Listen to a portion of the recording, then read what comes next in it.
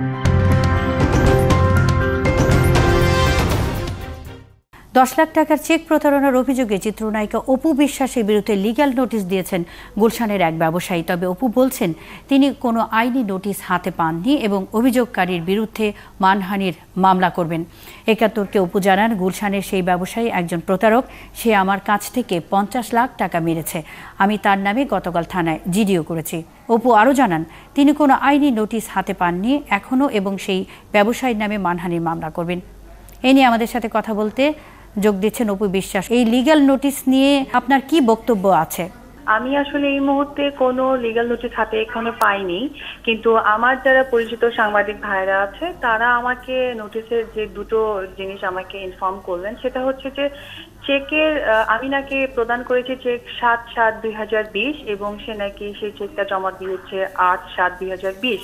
কিন্তু আমার সাথে তার বিজনেস ওরিয়েন্টাল সবকিছু ক্লোজ করেছি আমি দুই হাজার উনিশের সেপ্টেম্বরে এবং অক্টোবরের দিকে আমি আমার ব্যক্তিগত কাজ এবং আমি বিভিন্ন শোয়ের ব্যস্ত থাকার কারণে খুব একটা যোগ দিতে পারিনি।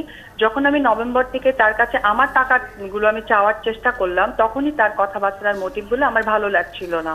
তখন আমি দ্রুত আমার যে পেপারসগুলো ওই অফিসে সংরক্ষণ করা হতো, সেগুলো দেখি যে আমার দুটো চেক মিসিং মিসিং হওয়ার সঙ্গে সঙ্গেই আমি ব্যাংকে ইনফর্ম করি যে এই দুটো চেক আমার জন্য স্টপ পেমেন্টে থাকে। তখন তারা সেই ব্যাপারটাকে কনফার্ম করে এবং আমি দশ বারো দুই হাজার উনিশে আমি হচ্ছে কি একটা আমি যেহেতু বসুন্ধরা থাকি আমার ভাটারা থানার মধ্যে পড়ে আমি ভাটারা থানায় গিয়ে একটা সাধারণ জিডি করে আসি আমার দুটা চেকের উপরে। যে যদি কোনোভাবে কেউ পেয়ে যায় বা কোনো কিছু মিসিং হয় যাতে এটা কোনো সমস্যার সম্মুখীন আমাকে হতে না হয়। যে যে ব্যবসায়ী লিগ্যাল নোটিশ দিয়েছেন তাকে আপনি কীভাবে চেনেন এবং তার সঙ্গে আপনার স্বার্থ সংশ্লিষ্ট কোনো বিষয় আছে কিনা? আসলে আমি জাস্ট ওনার সাথে বিজনেসই করতে চেয়েছি কারণ আমি বরাবরই চেয়েছি যে মিডিয়ার বাহিরে আমি কারোর সাথে বিজনেস করব, তাহলে জিনিসটা আমার জন্য ভালো হবে। তো সেই জায়গা থেকে আমি তাকে বেশ বড় অঙ্কের একটা টাকাও দিয়েছি, পঞ্চাশ লাখ টাকা। আমি যেটা প্রথম ইয়েতে বলেছিলাম আপনাদের নিউজে যেটা আমার দেশের বাড়ি থেকে একটা প্রপার্টি সেল করে, আমি সেটা তাকে দিয়েছি।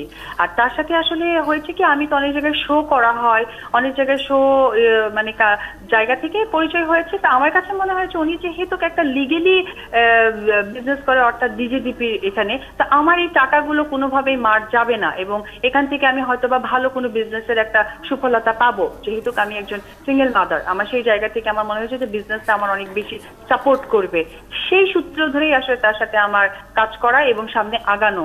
এবং চার পাঁচ মাস পরে যখন আমার ওনার সাথে মতের মিল হচ্ছিলেন না, তখন আমি খুব সহসাই নিজের ইচ্ছায় আমি সেখান থেকে ব্যাক করে আসি এবং আগামী ব্যাক করে আসার পর আমি এক মাস ওয়েট করেছিলাম। পরের মাস থেকে যখন আমি তার কাছে টাকা চাওয়া করি, তখন সে আমাকে আর কি বলেন যে, আমি তার সাথে যেন সমঝোতা হই, তার সাথে যেন আমি কাজ স্টার্ট করি লাইক এইরকম কিছু।